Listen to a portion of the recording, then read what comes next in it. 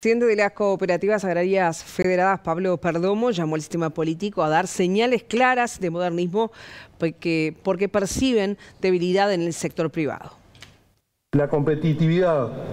Uruguay continúa enfrentando desafíos significativos en torno a la competitividad.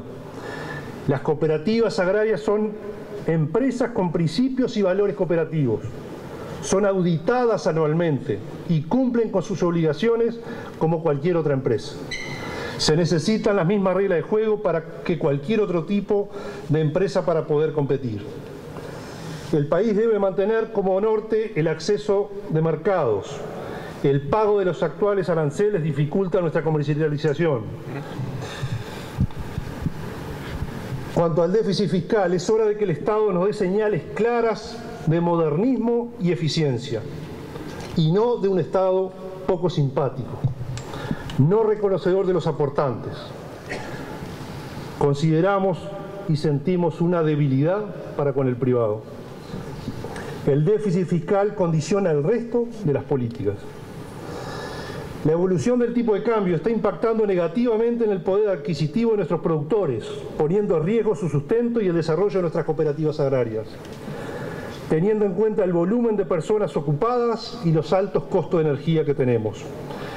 Es fundamental que busquemos soluciones efectivas para mitigar este impacto.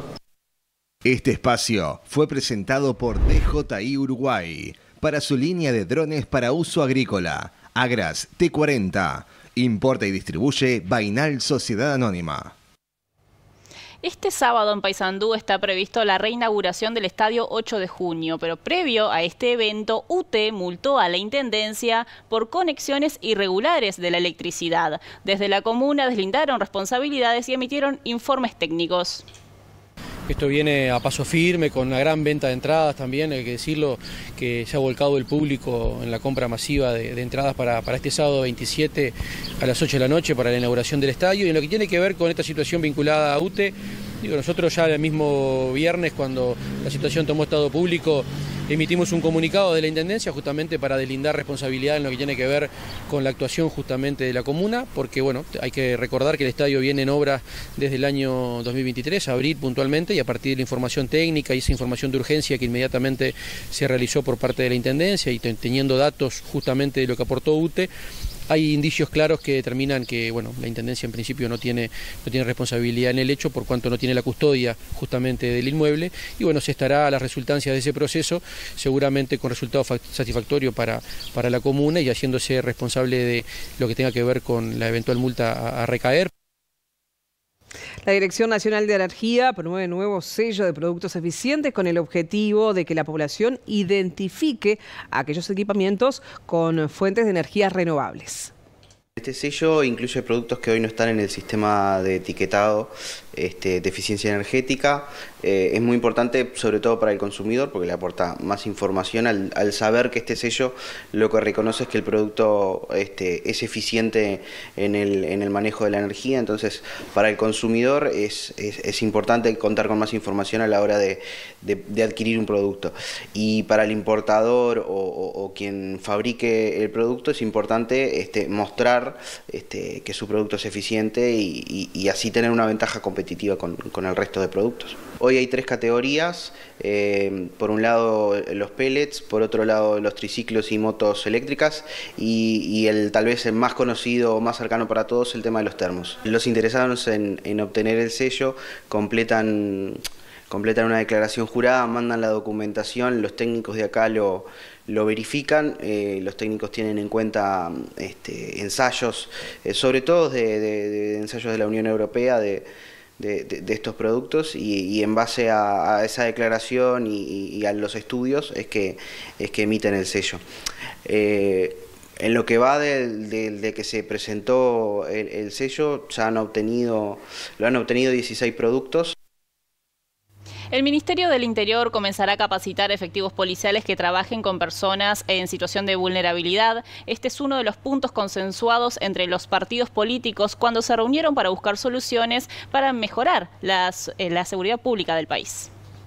La capacitación se titula Capacitación Policial en Trabajo con Poblaciones Vulnerables, porque justamente lo que busca es darle herramientas a la policía para eh, tratar con personas en situación de calle, con personas con situación de consumo problemático de drogas, con personas con problemática de salud mental y también, que no es menos importante, con niños y adolescentes.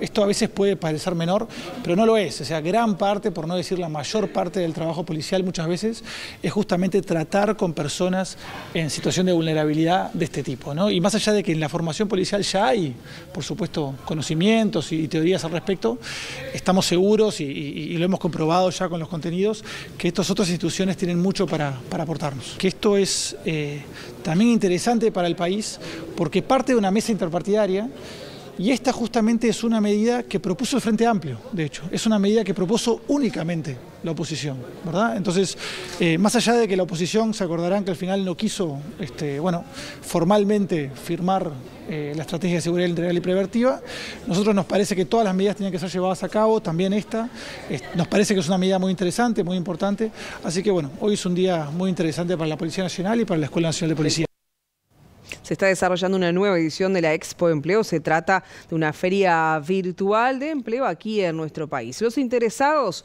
podrán durante toda esta semana cargar su currículum vitae para postularse a nuevas oportunidades laborales. Es una feria virtual que desarrollamos desde hoy lunes hasta el próximo domingo, las 24 horas, de forma gratuita.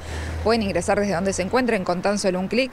Lo único que necesitan es internet y eh, lo que se pide es un breve registro en expoempleo.com.uy con unos datos que se cargan por única vez para que puedan visitar y recorrer toda la feria. Pedimos los datos que carguen su currículum, foto y demás, lo que quieran de, de información, la experiencia laboral y demás. Ahí acceden a la feria y tienen tres áreas para recorrer. Una que es el área de pabellones, donde se encuentra encuentran las empresas, donde van a poder tomar contacto directo con los equipos de recursos humanos, consultarles acerca de las vacantes, las posiciones, los procesos de selección, postularse en línea gratuitamente y eh, también acceder a una sala de conferencias con tips y herramientas para una mejor inserción laboral y acceder también de forma gratuita a un centro de evaluación donde van a poder medir sus herramientas y aptitudes.